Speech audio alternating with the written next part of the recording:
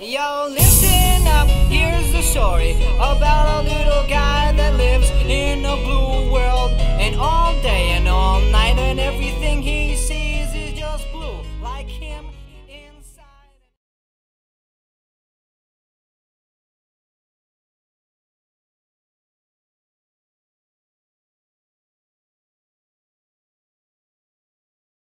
En este video les quiero mostrar es cómo salir del modo Safe 2 de este estéreo por las dudas que se hayan equivocado en ponerle el código eh, más de dos veces el estéreo se les va a trabar y bueno y si luego encuentran el código no lo van a poder eh, ingresar.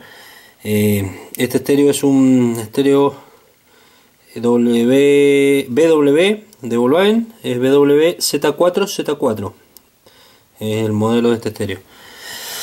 Eh, bueno es ese modelo en este costado dice Anatel y este es el frente tiene Bluetooth lector de SD de tarjetas eh, lector de USB y bueno si lo encendemos supónganse, bueno ahí está, a mí en mi caso está con safe solamente, pero si nosotros le ingresamos un código erróneo, eh, cualquier código, eh, y le podemos aceptar, ahí ya nos advierte con safe 1, nos advierte que está mal ingresado el código, luego ingresamos nuevamente otro código erróneo, eh, vamos a ingresar con este.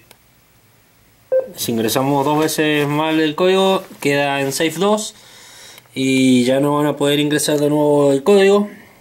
Bueno, yo lo que les voy a mostrar acá es cómo quitar ese safe 2 para que les permita volver de nuevo a safe solamente y poder ingresar el código una vez que lo hayan encontrado.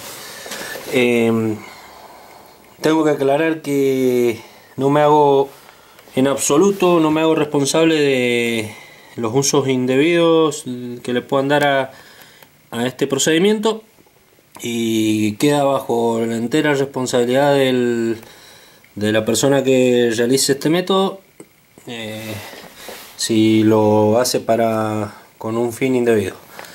Eh, bueno lo que tenemos que hacer una vez que está en Safe 2 no nos deja ingresar el código desenchufamos en este caso la fuente porque lo tengo en el banco de prueba. Quitamos la corriente. Tenemos que sacar la tapa que yo ya- le saqué los tornillos lleva tres tornillos. Sacamos la tapa. Eh, sacamos la bandeja que queda suelta. Con cuidado no romper el flex.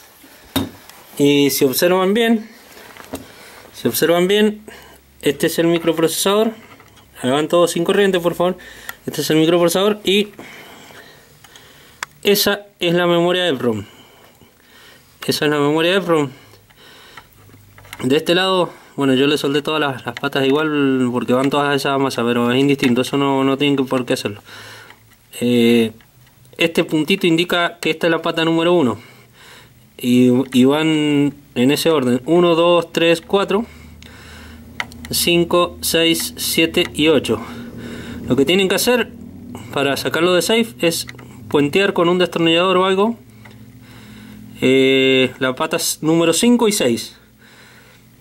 Mantienen puenteadas esas dos patas mientras lo enchufan a, a la corriente, mientras lo enchufan a 12 volt, ya sea de una fuente de alimentación o externa o de la batería.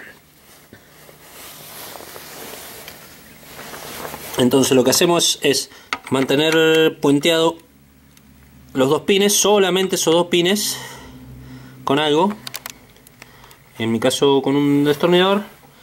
Vamos a enchufar, vamos a enchufar la fuente, mantienen puenteado y lo vamos a lo vamos a encender y enciende con la enciende con la pantalla así sin letras si sacamos el puente que le hacemos sacamos el puente que le hacemos ahí ya se elimina el Safe 2. Eh, aparece la pantalla así con un contraste medio mm, fuerte.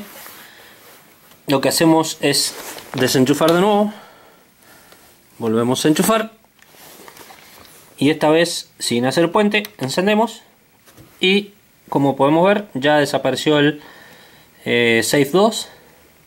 Y ahora ya nos permite ingresar el código que corresponda que eso bueno cuando encuentren el código ingresan el, código correspondiente y lo pueden hacer las veces que, que quieran pueden volverlo a restablecer de esa forma eh, reitero no me hago responsable de los usos indebidos de estos procedimientos espero que les haya servido y les haya gustado el video. Nos vemos en la próxima